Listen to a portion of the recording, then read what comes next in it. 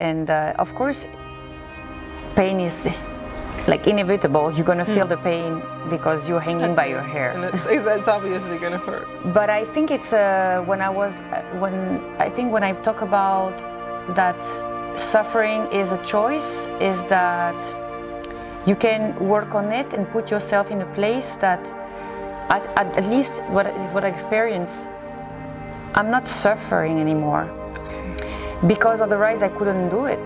And if it was a constant suffering, I, I don't think I will keep on practicing this discipline. Mm-hmm.